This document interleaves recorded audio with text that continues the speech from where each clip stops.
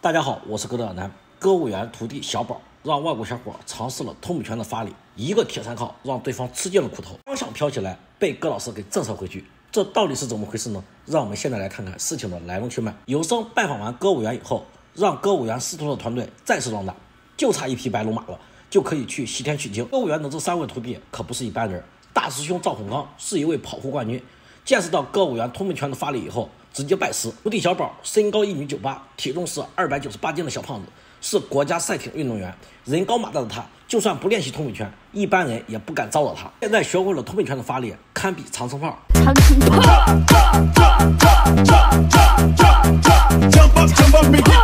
葛老师能把红牛单手戳坏，他直接把红牛拍扁，这力量看着都吓人。刚拜师的陆红军营收实力更是响当当，是一位最让人信服的人。别人还在为劈砖而苦练时。他已经在劈鹅卵石了，刚刚拜师就来检验打扳手到底是真的还是假的。他准备了两个扳手，一大一小。小的扳手他凭实力打完了，可是这一个大的打了几下纹丝不动，只能请师兄小宝来帮忙。这么大的扳手他已经不是第一次了，以他的实力来说，打这个扳手问题不大。师兄这么厉害，有生也是一顿夸。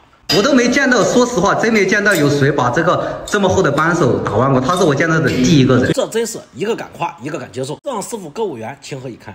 打放屁，对，对。哦，还有我师傅，来来，师傅，来来来来来，两人赶紧请师傅出山。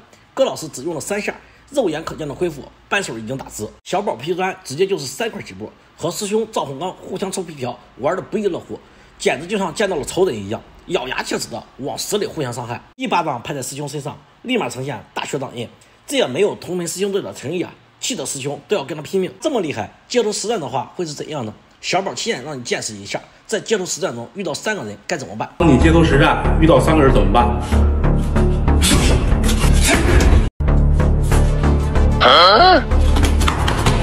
他可以说是一拳一个，最后一个不用打，直接就跑了。说句实话，以前我不相信李书文一招伏虎拳能把人脑袋拍缩回脖子里，看来只要下苦功夫，是真的可以办得到。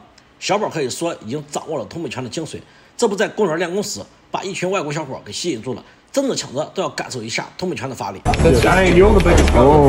小宝两只胳膊碰到一起，发出的声音让外国人难以置信，非要体验一下。这位外国小伙比小宝还高出很多。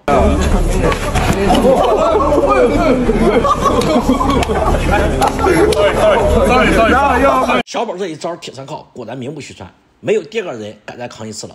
单手戳破啤酒瓶，震惊现场所有人。现在小宝的功夫已经得到认可，竟公然向师傅发起挑战。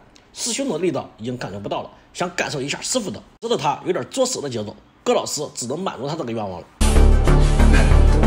好好，准备好啊！行行。一掌下去，后背发烫，打出血印，这可不是一般的疼。他这次哑巴吃黄连，有苦说不出，只能朝家人撒气。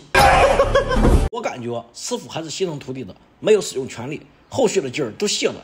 以后可别轻易的试探师傅的实力了，想另立门户还早呢。各位大佬对于这件事怎么看呢？欢迎评论区留言讨论。谢谢，我们下期见。